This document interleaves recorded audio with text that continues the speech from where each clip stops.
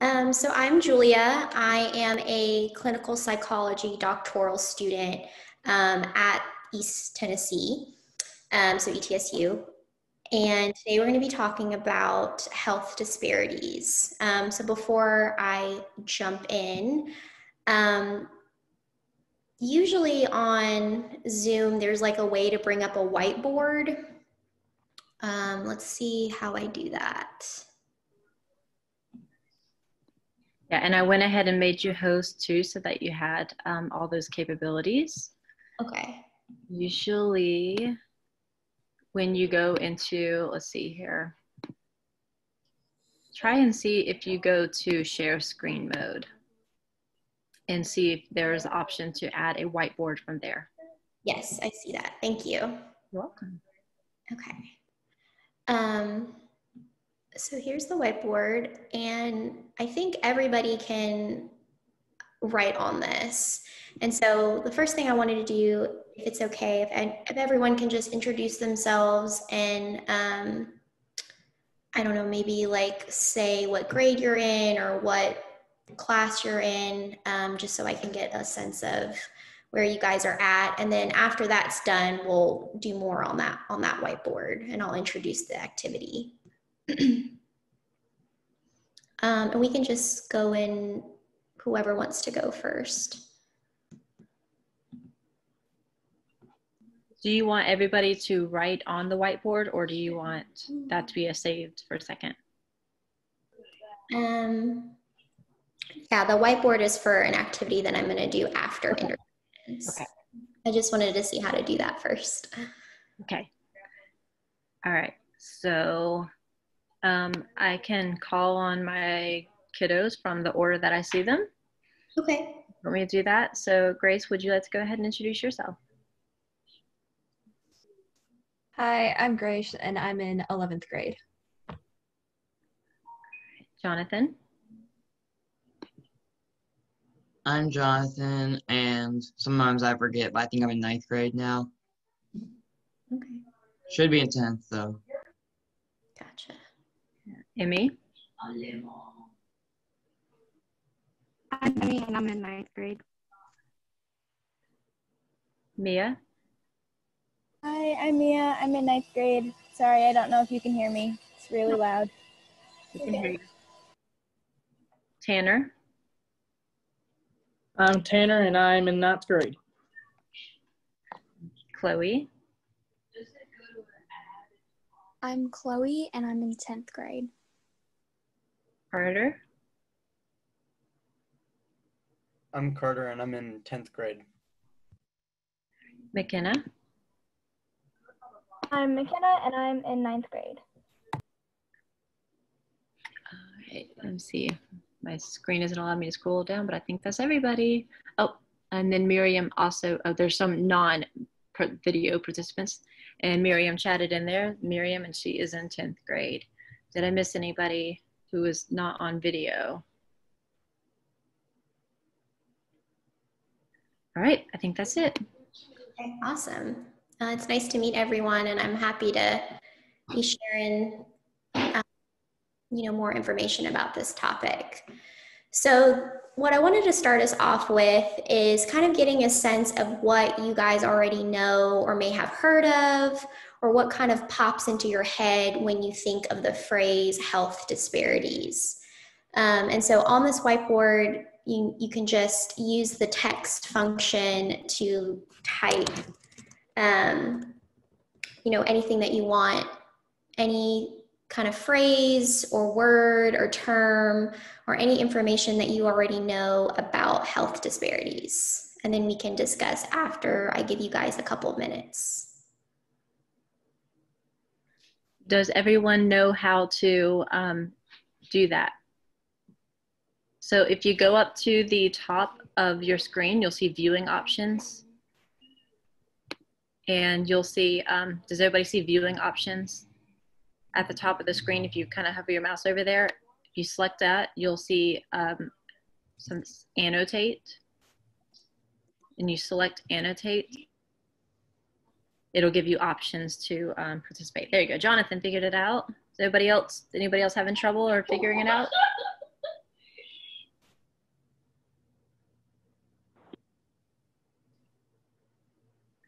Right, Micah figured it out. Awesome. Let me know if anybody uh, is having trouble and I can um, go over the instructions on how to do this again. Thank you.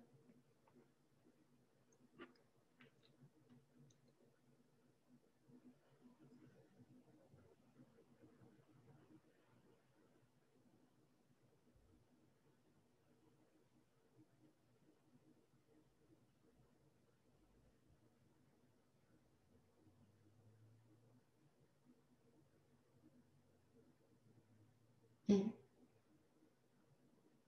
So those who can't reach healthcare as easily. Gotcha. That's a good point. Tanner, it may or may not work on your phone. Some phones allow it, some phones don't. Um, see if you can find like a, a dot, dot, dot, um, something with settings or something. If you can't figure it out, it's, it's totally fine. You can just type something up in the chat box and we'll enter it for you. Yeah, that's a good idea.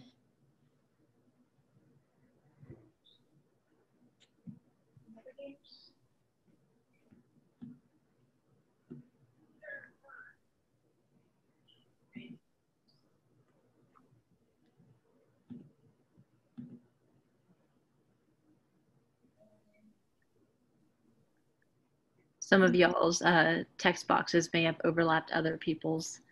So feel free to speak out if you want to um, complete sentences or move it around or whatever. You could be able to drop and drag and move it too if yours is being covered up.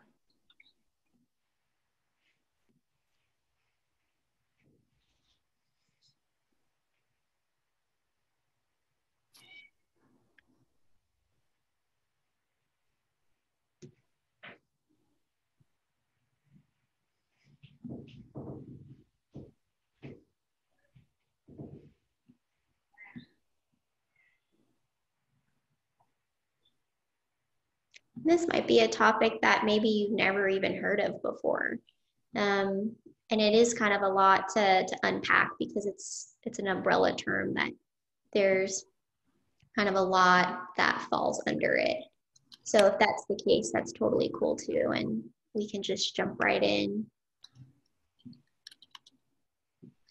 And um, sorry, so sorry to interrupt. I, I promise I'll trying to not do this so often. Um, since you're the host, can you just check and make sure? I don't think so, but um, if you go under participants, can you just check and make sure that nobody is in the waiting room, please?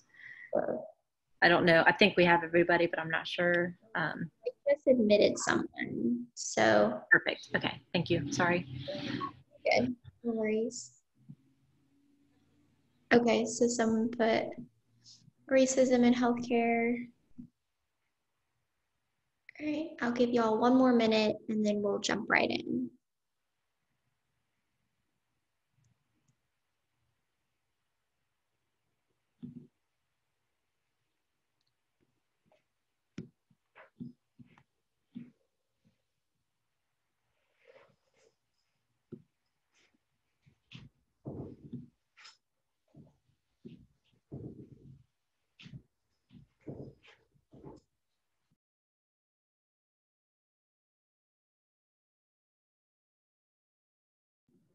Okay, so it sounds like a couple of you um, have a, an idea or something comes to mind when you hear the term um, health disparities.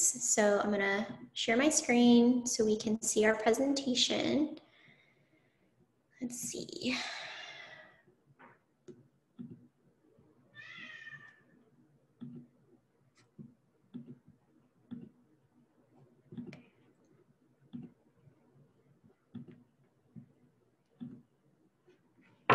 All right.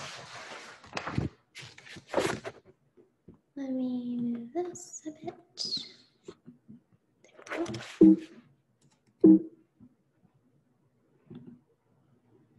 Okay, so some of you may recognize, whoops, sorry.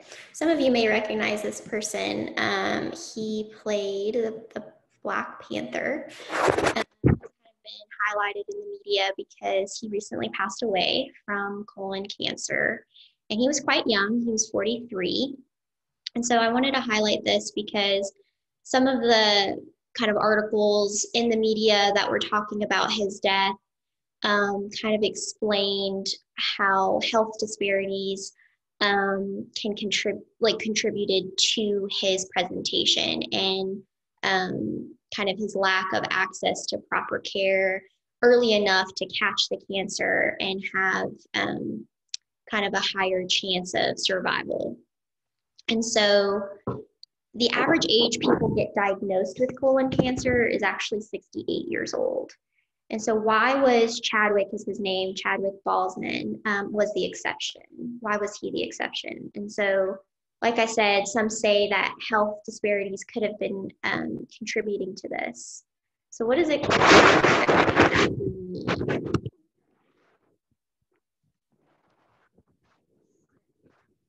Uh, here are kind of two general definitions of health disparities that can be found um, kind of in a hospital or like a medical insurance um, explanation.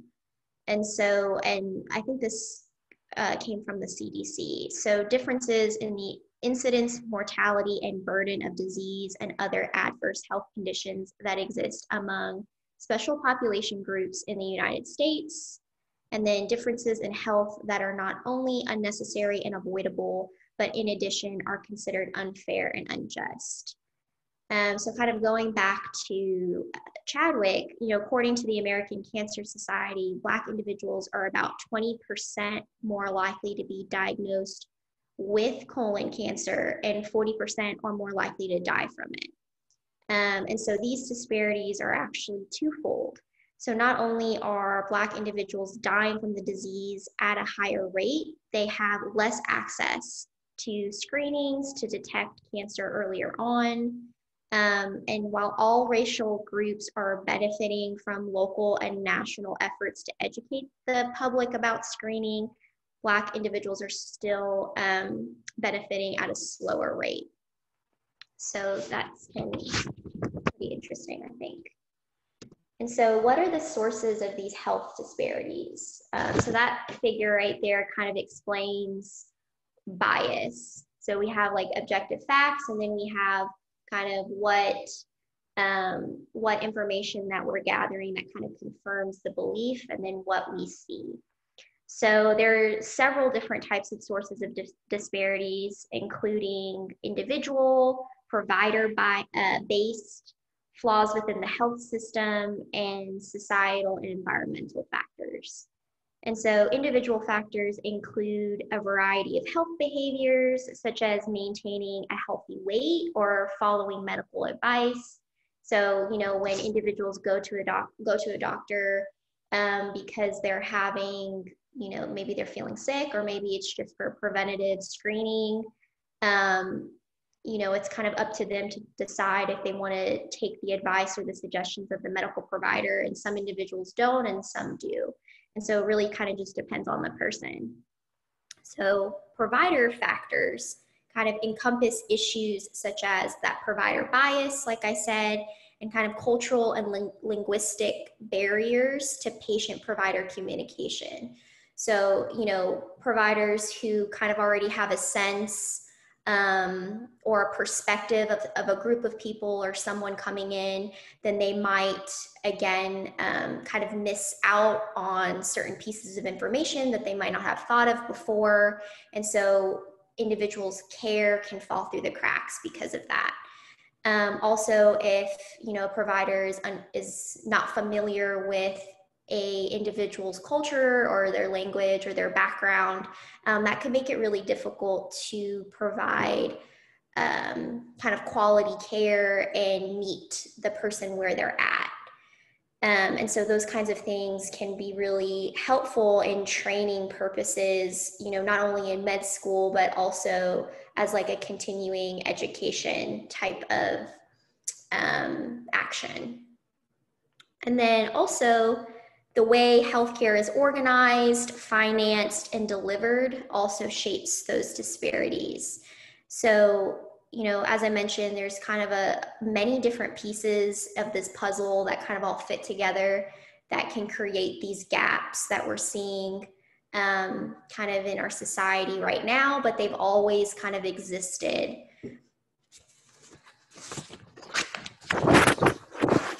And so moving forward, one, you know, main um, factor that's part of like societal and environmental is something called the social determinants of health.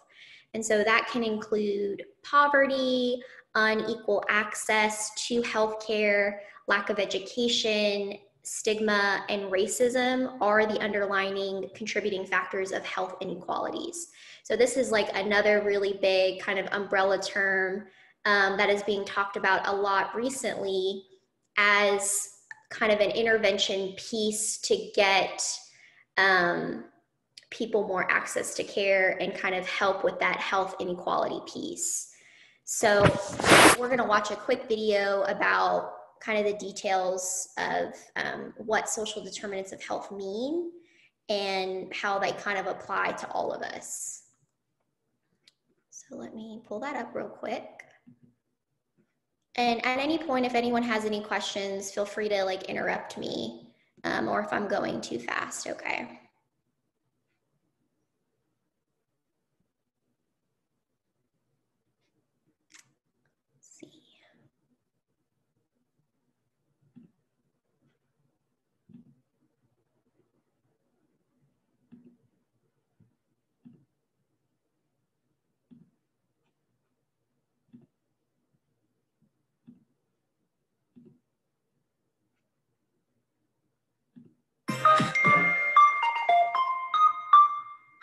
And welcome to this video on the social determinants of health.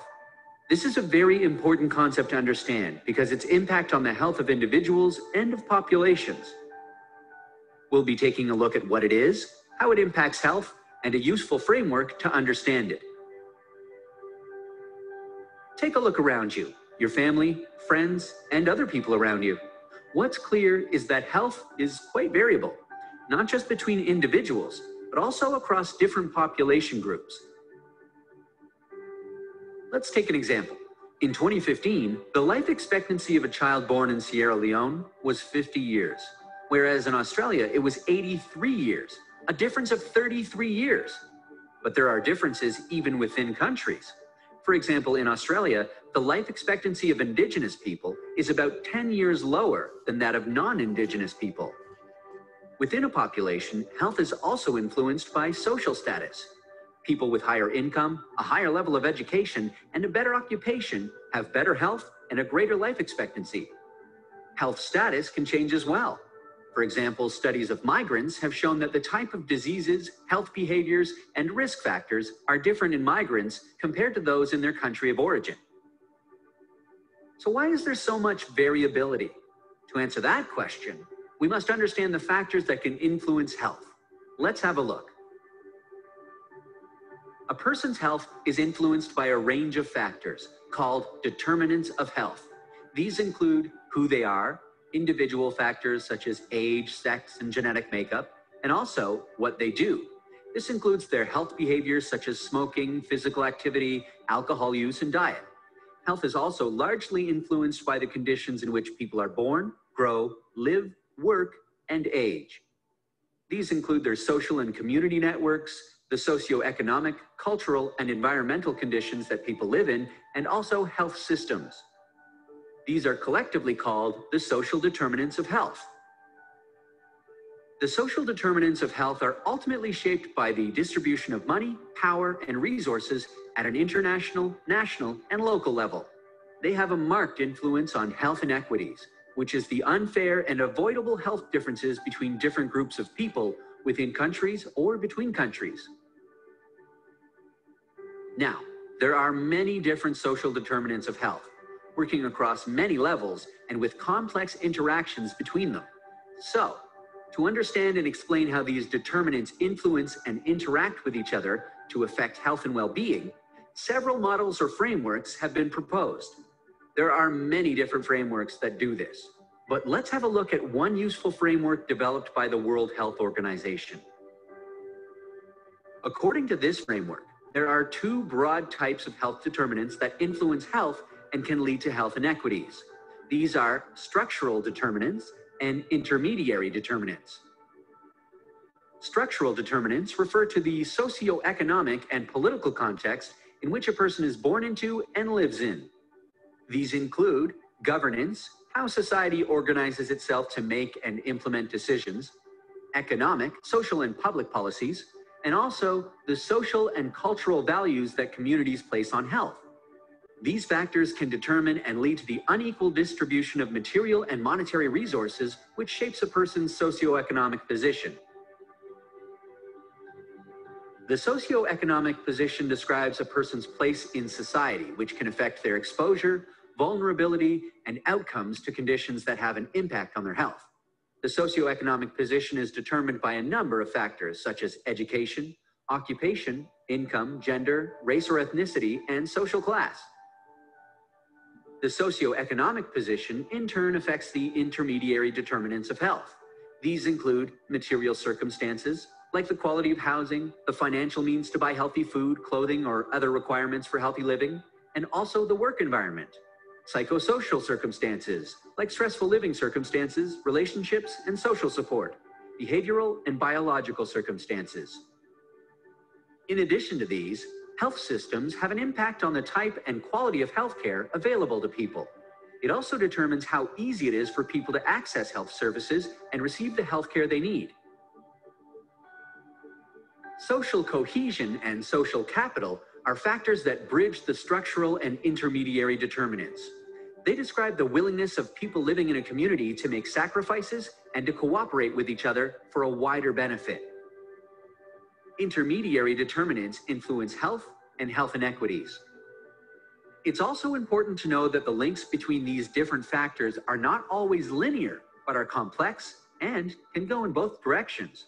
For example, poor income and education can impact health, and also poor health can limit opportunities for people to participate in the workforce or receive education. Also, if population is affected by a lot of disease, it can have a broader impact on the socioeconomic and political context. So how can we change or influence these determinants? Addressing the social determinants of health is not an easy task. It involves identifying the structural and intermediate determinants of health and taking appropriate actions to improve them. To do this requires actions across all sectors of society and at all levels, including local, national, and international. The actions will depend on the existing socioeconomic and political context, resources that are available, and commitment for action. And that's a quick introduction to the social determinants of health. We've had a look at what it is, how it impacts health, and a useful framework to understand it.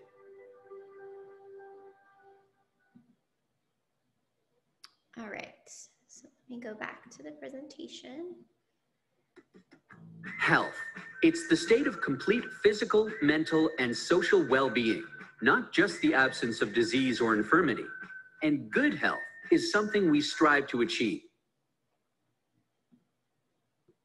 Okay. So that video was a lot to unpack, um, but hopefully you were able to kind of get the highlights. Um, so how does this impact us? Well, health disparities, as they kind of mentioned in the video, are often self-perpetuating. So for example, you know, parents who are too sick to work can become low income and then unemployed or low income individuals are less likely to have access to health insurance. And so if they're unable to afford health care, they could get sicker, making them even less able to find a new job and so on. So it can kind of feel like this, you know, broken cycle that feeds into each other. And so getting out of healthy and out of poverty can become increasingly difficult. This can also be seen in pregnant women and new moms. So a woman who experiences chronic stress while pregnant, um, such as stress about their financial situation, is more likely to have a preterm baby and babies born too early are at a greater risk for serious health issues later on in life. And so you can see that this kind of impact affects future generations as well. Um, and so many of those medical conditions can lead to pregnancy complications and preterm delivery, like I mentioned before. And so that image of the cycle of environmental health disparities, it kind of um, goes a little bit in depth of how this cycle is maintained by these different factors.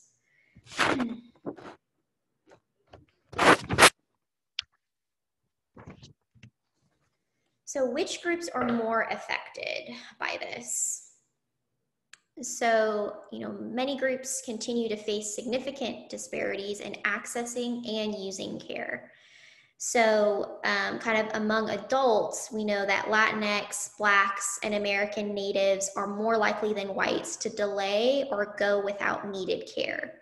And so, also, Black and Latinx adults are less likely than their white counterparts to have a usual source of care or to have had a health or dental visit in the previous year.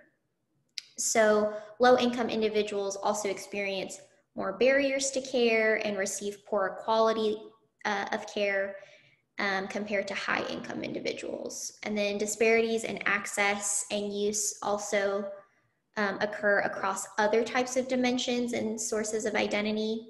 For example, individuals who live in rural areas face a range of barriers in accessing care as well. And so on the slide, it kind of breaks down which groups are likely to kind of experience some of these gaps in care.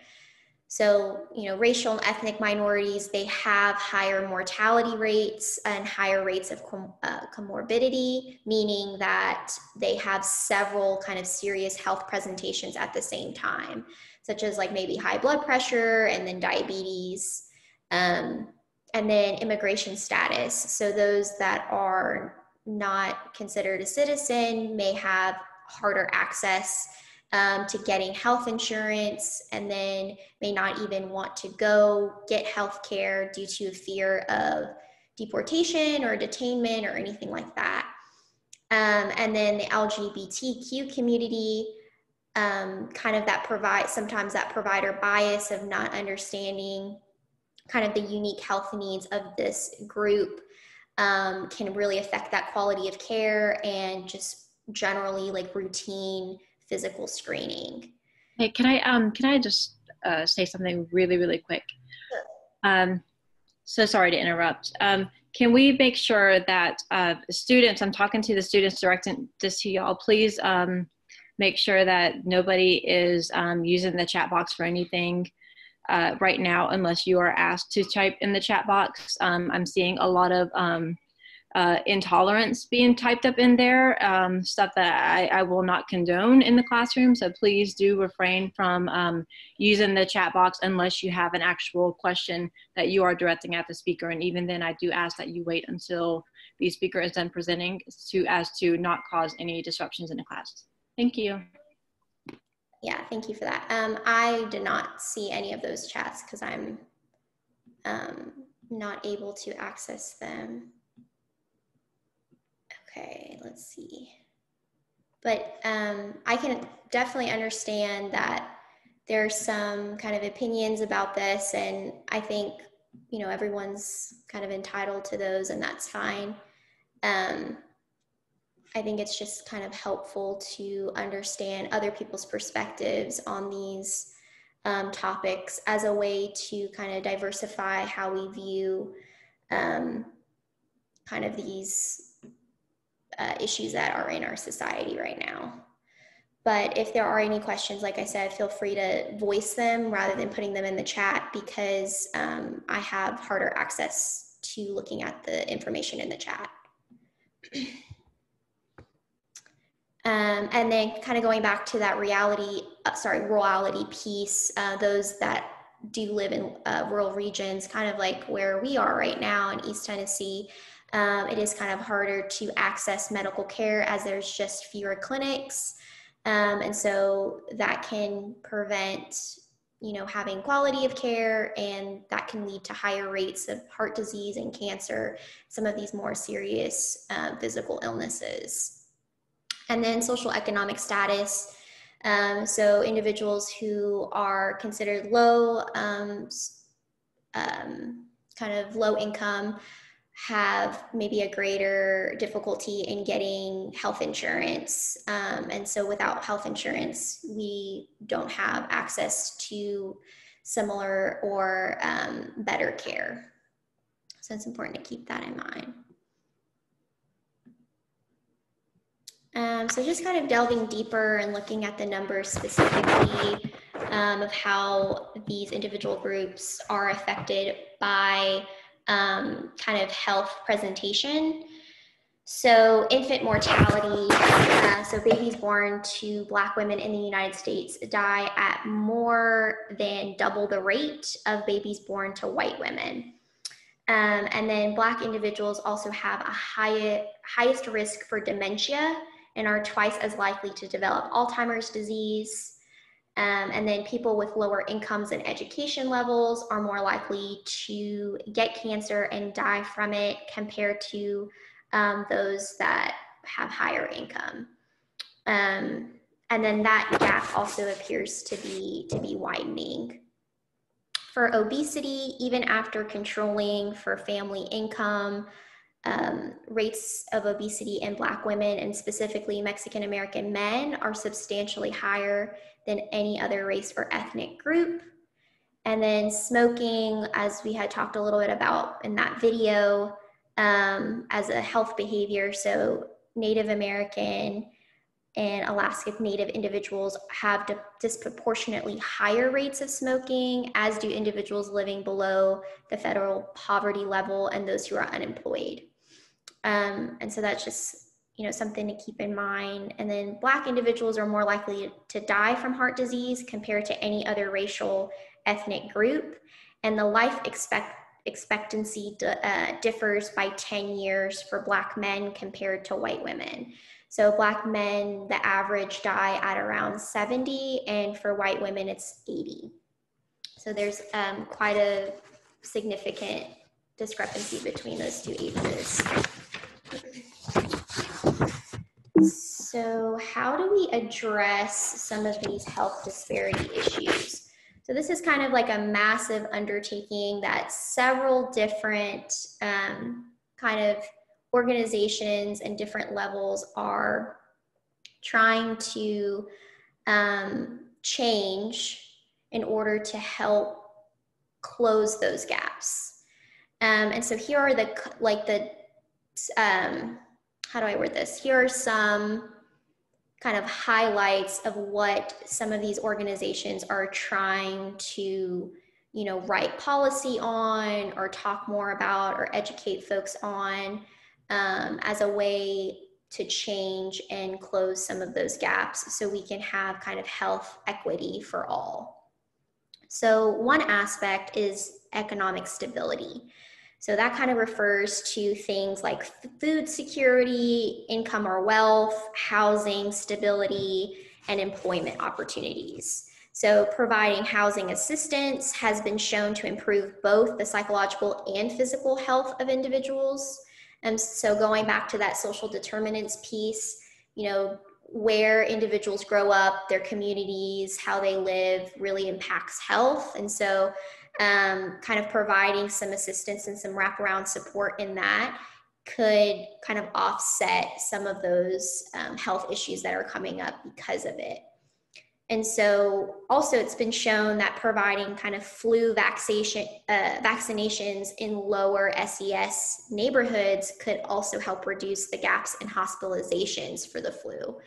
Um, and so, kind of just thinking through that, and then quality education for all. So that really means investing. Um, so, like the government, state officials, um, also like privatized kind of organizations or groups that really um, care about this issue and want to see change can invest in things like language and literacy and early childhood education and high school graduation and uh, higher education could help close those health gaps in a number of ways. So, increasing access to center based early childhood education has been shown to decrease crime and teen births. And so, high school uh, completion programs also have strong returns in that investment, often resulting in improved economic benefits that exceed any costs associated with the program um, and in part to kind of avert or offset some of those healthcare costs that you would potentially get um, from some of these health issues that come up because of these gaps. Um, and then the next thing is kind of increase access to healthcare and improve health literacy. So um, this would just mean, you know, having insurance companies maybe providing more coverage for preventative type screening. Um, it could be, you know, educating, uh, you know, kids and children in school about some of these health um, issues like we're doing now, like in your in this presentation currently, like just providing some kind of facts and and um, more information about what this this topic means um, as a way to kind of increase uh, education around this. And then the neighborhood change would really just mean um, trying to kind of improve housing, improve access to like healthier um, kind of grocery stores and food options, um, finding ways to reduce crime and violence. Um, and so just really going on a community neighborhood base level change. And so these are just a few that I pulled out on a, like a systemic or a, a, large scale level of some of the work that's um, kind of been around to help address these health disparity issues. But there's still a lot of other things um, that we can do as individuals to kind of um, facilitate this change as well. And I think part of that is just trying to get as much information about the topic as possible and making sure that we are um, kind of learning what we can and absorbing what we can. And then you know being open to learning information that might not um, you know be in line with something that we've heard from other people or from other things. And just kind of being open to um, learning about the very you know many different aspects and sides of this uh, issue. So just doing a quick vocab check um, on a couple of things that we touched on. So we have health equity, bias, and social determinants. So health equity, again, is achieved um, when every person has the opportunity to attain his or her full health potential and no one is disadvantaged from achieving this potential because of social position or other socially determined circumstance. And so that's a very um, kind of formal definition, as I said, like from the sources that I got, like the CDC and the WHO and stuff like that. Um, and then bias, um, as I mentioned before, it's just you know prejudice in favor of or against one thing, person, or group compared with another usually in a way considered to be unfair. And so some of the time we don't recognize that we are being biased or, um, you know, maybe our intentions are not to be that way. But I think kind of building up that awareness and kind of having that open conversation with people and learning things that you may not have thought of before can really help shine the light on some of those biases and kind of expand the way we approach others um, that may be different from us or that we don't understand um, kind of where they're coming from. And that can help connect us and build that bridge to them to, to have better um, kind of access and address some of these health disparities as well. And then the last um, one we talked about was social determinants. So again, that is, you know, conditions in which people are born, grow, live, work, and age. They include factors like socioeconomic status, education, neighborhood, physical environment, employment, social support networks, and access to healthcare. Um, so the next thing is I just wanted to play like a quick game of Jeopardy um, in which you know you guys can pick whichever question you want to answer and then we can get points off of that. I don't know how much time I get. Um, so we can just play for like five or six minutes or so. Um, does anyone have any questions or have any thoughts before we jump into this next thing?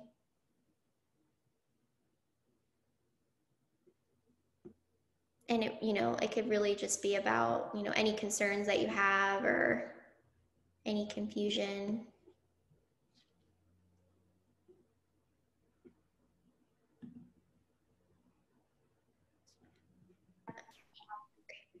Um, Dolly, how much time do I have? Because I was going to jump into playing a quick game of Jeopardy. Yeah, you have it. You have some time. You good? Okay. Um, let's pull it up. Okay. I was thinking we could do teams, but I'm not sure how we could set that up. Um, it could just, to make it easier, it could just be like a free for all. Anyone kind of calls um, which question you want to answer, or we could break out into two teams. What do y'all think? You want to do free for all? Kind of jump into it, or should I um, assign some teams?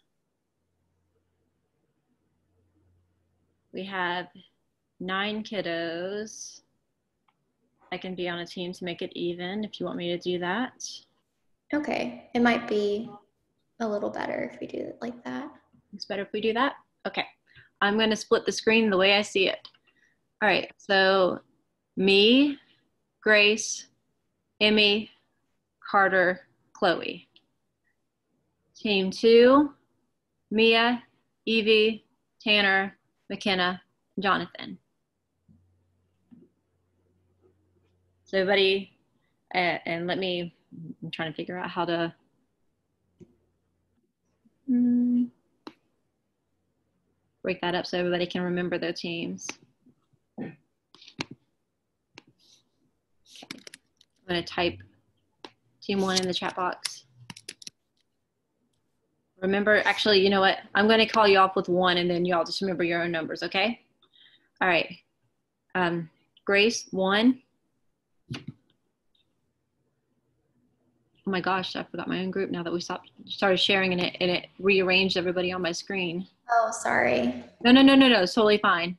All right, I'm just gonna do it again. I'll, I'll redo it again. All right, Grace, you're team one. Emmy, team one. Um, Evie, did I have you on team one?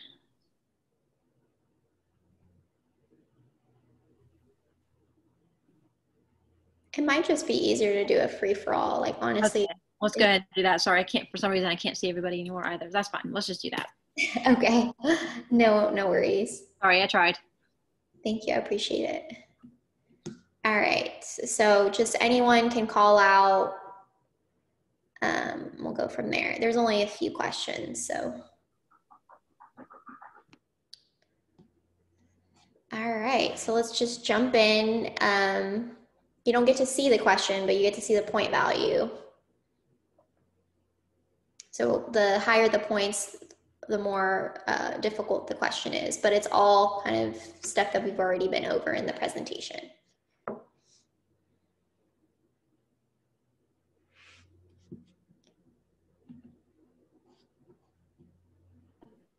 Let's do the left side for 100.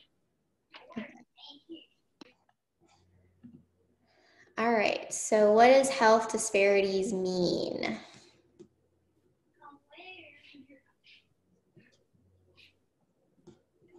The cheater, so I feel like this disqualifies me from answering.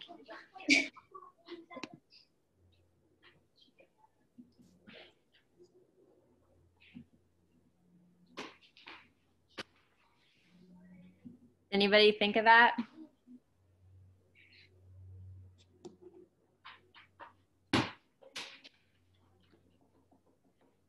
You can put it in the chat too if that's easier than kind of calling it out. Um, let's see.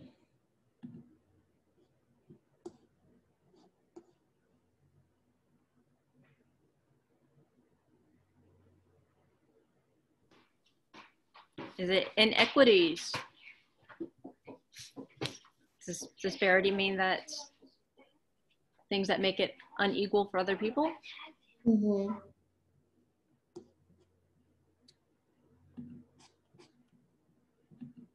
Mm, let's see.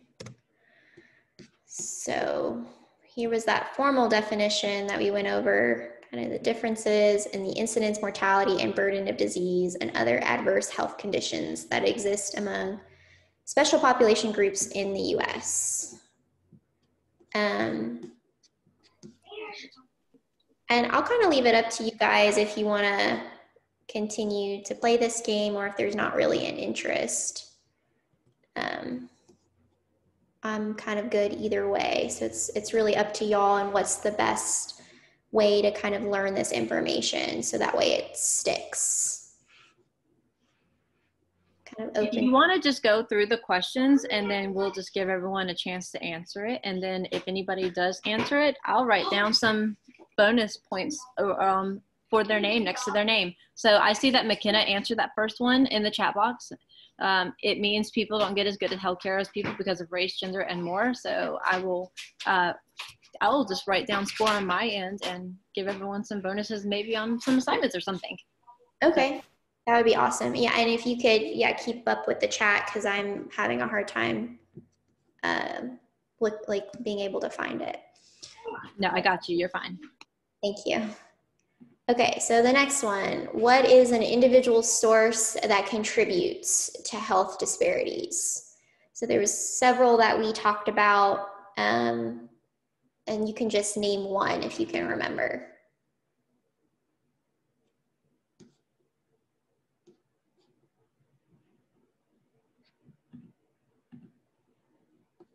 Smoking, okay, awesome. So that was um, kind of an individual health behavior as a source. Social class and income. That's good. Those are all right.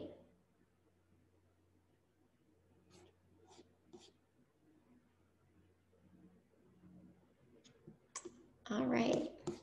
Thanks for answering those. Let's see.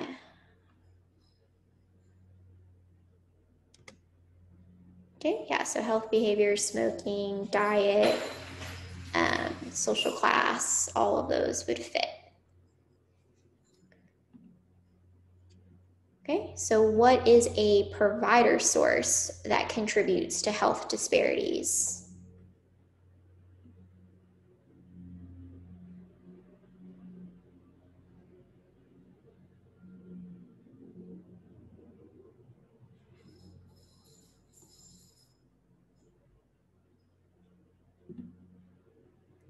So provider meaning like the kind of doctor or health professional. Um, what are some things that can contribute to health disparities on their end?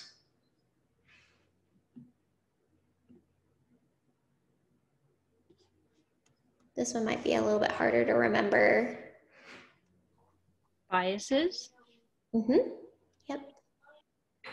Bias. Uh, and then kind of that cultural linguistic barrier.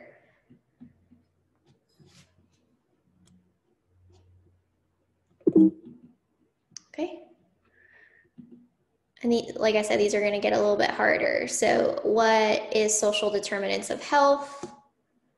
Um, this was a lot to unpack, so really kind of any piece that you remember would be helpful.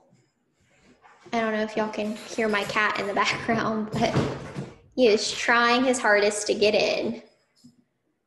He's a little needy. So what kind of um, falls under that umbrella of social determinants of health?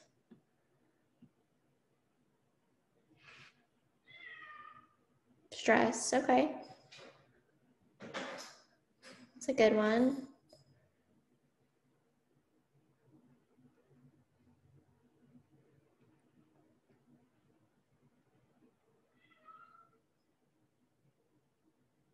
Income level, mm-hmm. Unemployment, mm-hmm. Yeah, those are all definitely ones. Okay. So yeah, we have poverty, kind of unequal access to healthcare, you know, lack of education, stigma, and racism. So those are all can contribute and are kind of under that umbrella of social determinants of health. All right, let's go for 500. How can health disparities impact future generations? And so there is a specific example that I mentioned kind of about women.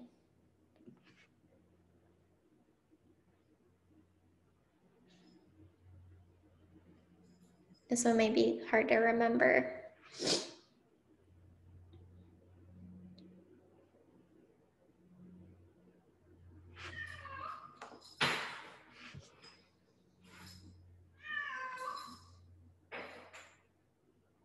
All right, I think this one, I don't, I think this one might be too hard. So we'll just look at the answer. Um, so like I mentioned before, you know, pregnant mothers can experience chronic stress during their pregnancy, which also in turn affects their baby's health, puts them at a higher risk for de- developmental delays or behavioral problems. Okay, you're gonna type that. Well, all right. Well, that is all the questions on this side, and I actually have to hop off because I have something at two that I need to prepare for really quick. Um, but is there any questions or anything um, that you're wanting to comment on or ask about or any confusion that you've had? It can be about anything. I think that was super helpful and and wonderful. Thank you so much. Yeah, no worries. Um, I'm glad I got to meet all of you guys and um, that we were able to talk a little bit about this. Yeah, yeah, it's a huge it's a huge issue. Um, mm-hmm. One I don't think a lot of people think about is is how so many other um, factors play in somebody's personal health. Mm-hmm. Um, it's super important. Tanner says thank you as well. Oh, so, thank yeah. you all for listening and for being open to to kind of understanding and learning about this topic. Yeah. All right. Thank you. Yeah. Awesome. Well, uh, go love on your cat. I'm sure they want some love. and thank you so much for everything. Yeah, no problem. I hope you guys have a good rest of your day. Thank you. You too. Bye. Bye. Oh, you just want to make me host again that way? Oh, gotcha. Yeah, sorry. Let me see if I can reclaim it real quick. Okay. Reclaim host. There we go. All right, you're all set. See ya. yeah, bye. Bye. All right. Oh, McKenna, I saw your thank you as well. Awesome. So, any um, any comments? Anybody want to um, kind of talk about anything? Okay. So um, let's see here. Not sure if what Jillian does with um, homework assignments. I feel like I should know since I'm usually in the class all the time with y'all. Um, I don't have the, the agenda, but I did want to, um, I did kind of want to just talk really quick um, that like just kind of in broad base just thinking about like etiquette and in future classes you know i know a lot of you are doing great. I just want to like make this an overall announcement for the whole class. Just make sure that we're we're being mindful that that words impact people um, in the chat boxes and uh, when when a speaker is presenting it's it's so important uh, if you if we were sitting in a classroom setting and a, and a speaker was presenting you wouldn't be um, randomly saying uh, random things while someone is presenting. And in the same way, when somebody is um, presenting in a Zoom format, just make sure that that if you have a question or you feel like you need to ask something, just try to like raise your hand um, first, or um, if there's like an emergency and you, there's something happens, you can privately message me. But um, let's keep. I, I kind of just want to say moving forward, no no individual chats in the chat boxes. Um, uh, just it's it's disruptive to the teacher and it can lead to inappropriate rabbit holes and conversations and um, So just kind of want to say, moving forward, let's let's avoid let's avoid that problem and just not not use the chat box at any time unless you have a question, and then in which case, just like I said, raise your hand or reach out to me privately so that we can address your question or concern or whatever may be going on. Um, I also want to say that that everybody is entitled to opinions, and a lot of people have different beliefs. Um, however, we have to be mindful that there are are different um, people with different backgrounds, people of different gender identities and and orientations, and we we need to be mindful that they are allowed to exist with us, and um, and there is space in this world for everybody, um, all walks of life, and um, and I I just want to say that there is a very hard and fast rule that we are not going to be a, a, a, intolerant class that does not um, allow other people who are different from us to um, have a safe space here.